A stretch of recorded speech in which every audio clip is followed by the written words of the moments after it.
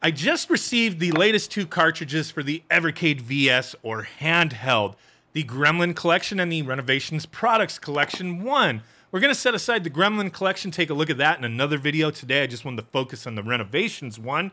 I did receive these early for purpose of review from Evercade, as I do like the product that they sell. I've already pre-ordered these and paid them off, so I'm going to have extra copies. I will be giving those away in the very near future during a live stream live streaming the, the VS. A lot of people have been asking me to, to do that again. So I'll give away those extra copies that I should be receiving later on this month when they release. But yeah, we're going to focus on the Renovations Collection cartridge. Now, this cartridge, just like all the other ones, comes with a nice full color manual. And this collection does have 12 games. And in that manual, I really dig the way they have these things set up, going over a little bit of the history of the company, talking about the games, all that good stuff. Really miss manuals, so I love that they've uh, included that with this stuff. So at the renovations collection, we got 12 games included. And either some are going to tickle it for you, some may not. Maybe all of them will, maybe none of them will. I, I don't know. I mean, it's a subjective thing when it comes to you know the games that you like. But with these 12 games on this cart, we have a, a little bit of a an interesting mix. We got some action platformers, some action RPGs, some horizontal shoot 'em ups, a wrestling game, and a pinball game. Very interesting, very interesting collection here. So, like I said, these are for the VS or the handheld. The game can be played on either or. Today we're going to be looking at it being played through the VS. So, popping it in, you get that list of games. And with the list of games, like I said, we have 12 of them. We got Beast Wrestler, which is a wrestling game. And with that one, it's got monsters, right? So it's kind of like King of the Monsters for the Neo Geo. Like that's kind of the impression I got, but not really.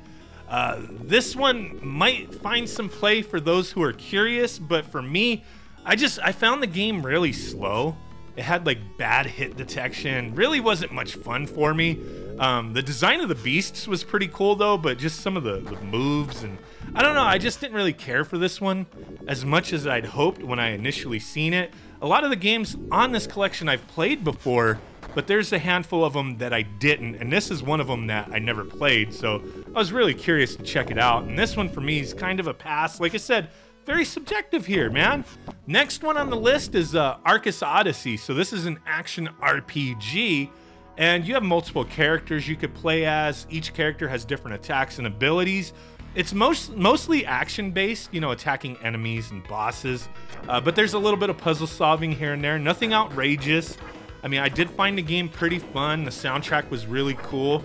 It's an action RPG. I mean, take it or leave it, right?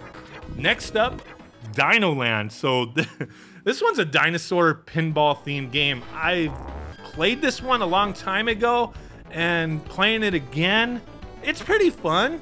Uh, I thought it's okay. I mean, I like the sprites in the game. There's a lot going on in the, the play areas. If you like pinball uh, and you like retro gaming, yeah, I could recommend this one to mix things up. I mean, with this cartridge, there's the variety's a little, like I said, it's a little, a little weird, um, but there there's some stuff here that you could kind of break it up. You know, some of these games are going to have a lot of gameplay. Some of them are going to be a little shorter type of thing. Um, Dinoland was was interesting. It was interesting. The next one is uh, El Viento, uh, and this one's an action platformer, kind of similar to a couple other games on this list. Um, and I've seen this game have uh, mixed reviews in, in, in the past, um, but you know I, I do like it.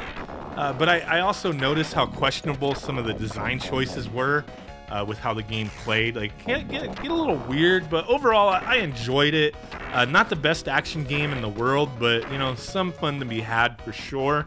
Next up is uh, Exile. This one's another action RPG, uh, and it's kind of bland in my opinion.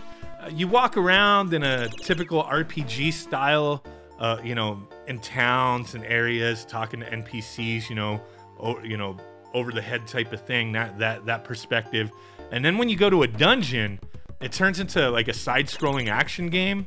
Like there's nothing particularly bad uh, with the game besides like a few nitpicks, but it's just nothing to jump up for joy over, in my opinion.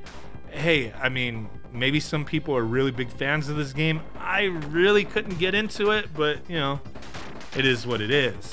The next one, one of the uh, the more interesting titles here. I mean, they're all kind of interesting, but Final Zone. It's an isometric mech action game. So each stage you have certain targets you have to destroy, and then after you get all those targets, you know, destroyed, then you fight a boss. And I think like this one was pretty fun. I really enjoyed this one. The stages, they're decent size, but like as you start wandering around looking for the enemies you're supposed to kill because it's very specific like you'll have a tally of how many enemies you're supposed to kill but it's going to be certain enemies. You have to kill a certain amount of each. So you may have to wander around to look for some of the enemies and it starts seeming like holy crap this stage is huge. And i think the stages are not necessarily huge but they're decent size but it kind of gives that that feeling that they're bigger than they actually are because in reality the stages wrap around after you walk through a few areas, so it's kind of one of those things. Now, the control and movement of the, the mech that you play as takes a bit to get used to, but I, I found it fairly enjoyable. This is my style of game, so I, I dug this one. Next one, which is one of the, uh, the, the heaviest hitters on this cartridge, in my opinion, is Gaiares. Gaiares. Guy R Us. Toys R Us. I miss Toys R Us. Gaiares a horizontal shooter. Um, and you know, it was one of the main reasons I was looking forward to this cartridge. So this game is is hard. It's a tough one, man. It's one of the hardest shooters of its time, but it has a lot of cool stuff going for it, like the system of stealing enemy weapons and the variety in the stages and the movement and whatnot. It's a really fun one, and a lot of people I know would love to have this, you know, in their Evercade collection, maybe specifically just for this game. So here's your chance. $20 for these cartridges. I mean, I know some people are not into the Evercade, and that's fine, but if you are, hey, I mean, price is reasonable in my opinion for what you're getting here. Um, next up, Granada. So this is an action shooter where you play as a tank, destroying a set number of targets in each stage, kind of like Final Zone, um, but but different. It's different. I, I really like this one. It's actually one of my favorites on the the cartridge it kind of feels like a sci-fi gauntlet. It, it really does. The control takes a little getting used to, but I mean that could be said for any game, I guess. Um, you shoot in whichever direction you're traveling. So if you're moving, you know, to the right, that's where you're shooting. But you could lock the gun's position by holding a button. That way, if you have hordes of enemies coming at you and you're trying to, you know, back away from them, you don't start shooting in the opposite direction. So, you know, you do have that button. You can hold to lock the position of the gun and I, I really dug this one. It, it, was pretty cool. You have a, a map to show you where the enemies are at because you could kind of get lost looking for them, but you do have that radar going. So pretty cool. Next up on the list is uh, Sol-Deace. It's a horizontal shooter. Uh, the game looks pretty good, plays well. Not as difficult as Gaiares. Uh, so maybe some will want to start with this game first. I really enjoyed it. I mean, you have your typical power-ups, but uh, you have different arms on your ship that you get different weapons for and can also maneuver their positions while moving and not firing. So there's, you know, it's got a little uniqueness to it. A very smooth uh, horizontal shooter game. I, I, dug it. One of my favorites here. Next up um, is Traysia, and it's an RPG.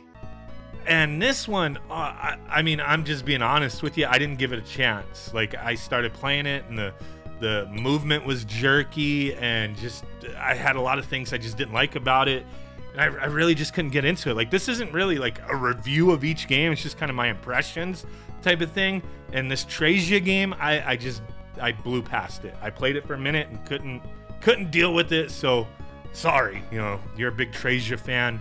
I didn't mean to uh, to offend you there. Now next up and final, the final two games is Valis. We have uh, Valis one and three. So these are action platformers, and either you're gonna love them or hate them. Uh, it's not a, a, bad game, either one of them, but you know the first game in particular, Valis One, it, it is fairly sluggish. Um, the third one, Valis Three, uh, it's it's a bit more refined, but it's still a slow game. And, and when I say slow or sluggish, I don't mean like the game chugs along, like nothing like that, or it's laggy. It's just the character you play as moves slow as heck. I wish there was a run button in the game and you could just kind of run through enemies and whatnot. Um, but it, it's it's just kind of a slower paced game.